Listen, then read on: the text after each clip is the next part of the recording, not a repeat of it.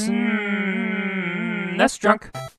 It's always weird when you run into a corporate sponsored video game and it ends up actually being halfway decent, or in some cases, pretty good. Look at Cool Spot for both Super Nintendo and Sega Genesis. That game is a perfectly good playthrough. It stars the old 7 Up logo, and the entire game is designed to get you to go and buy soda. Meanwhile, on the NES, there was stuff like Yo Noid, starring the old Domino's Pizza mascot, the Noid, a mischievous little claymation dude whose primary objective in life was to prevent Domino's customers from getting their pizza in 30 minutes or less. Whoa, wait a second, this game was published by Capcom and developed by Now Production, who had a hand in games like Jackie Chan's Action Kung Fu and the Adventure Island series? This game can't be bad.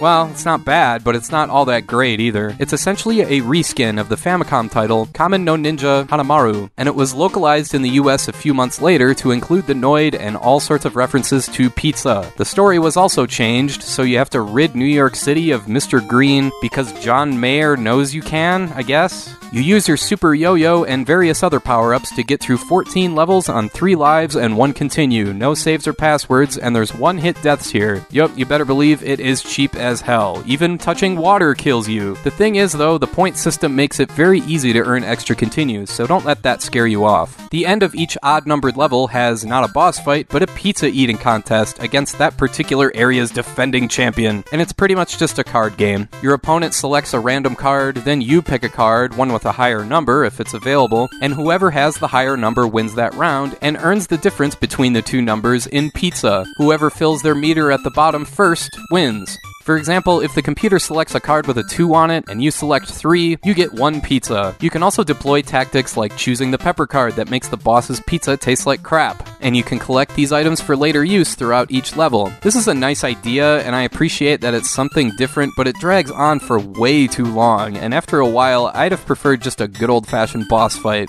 There's also levels where you're on a skateboard or floating around with this mini propeller thing or bouncing around on the Noid's Pizza Crusher. There's hidden areas you can jump into where you play whack a mole for a while, and there's also power ups available if you hit these scroll things with your yo yo. You can eventually use Dark Noid, which allows you to speed up and jump higher, and there's clear screen attacks you can use as well. Just press down and B to make them happen. I should note that in the original version of this game in Japan, instead of a yo yo, your character has a hawk that sits perched on his shoulder and attacks enemies. Your hawk also carries you instead of using that propeller thing. It's entirely cosmetic, but I don't know, it sure seems a lot cooler than, you know, some goofy pizza mascot. The boss fights are the same, only instead of pizza, you're comparing weapons, I guess. It's still just as tedious, unfortunately. Most of the other stuff between the two games remains the same, they just altered the settings and the enemies in the North American version. So yeah, Yo Noid is extremely average. It is an interesting game at times, but certain parts can really drag and bore the hell out of you, and overall the game does just barely enough to vary the enemy and level design to keep everything at least kinda sorta worthwhile. Like this auto-scrolling level here that evidently takes place on a merry-go-round, or the propeller stage, which is actually pretty tricky. Still, there's a lot here that's just the same old platforming stuff you've played through in a million other games. Yo Noid is a great example of the sentiment you could do a lot better, but you could also do a lot worse. And I want to thank you for watching, and I hope you have a great rest of your day.